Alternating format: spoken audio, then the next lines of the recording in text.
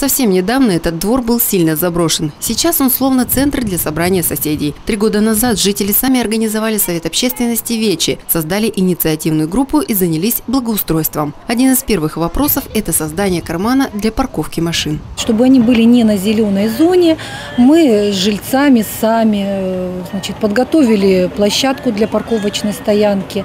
Э, Землю, которая осталась от парковочной стоянки, не знали, куда деть, поэтому решили облагородить и устроить клумбы. На сегодняшний день у нас вот 17 клумб во дворе. Гера Жилина искренне гордится своим двором. Она здесь живет уже много лет и прекрасно помнит, в каком удручающем состоянии он находился. Сегодня здесь радостно резвится детвора. Поставить детский городок внутри площадки – эта идея тоже принадлежит Совету общественности.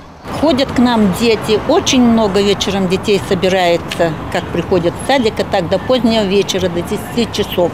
И мы с соседями вот каждую весну садим мы цветочки, поливаем. В этом году купили мы шланг.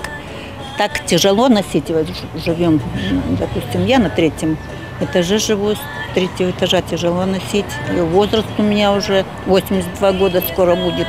Несмотря на то, что сегодня двор этого квартала выглядит на зависть остальным, жильцы не останавливаются на достигнутом. Они сделали запрос на благоустройство еще одного парковочного кармана, а значит, будущей весной количество клумб здесь возрастет вдвое. Мария Константинова, Владимир Селиванов. Местное время.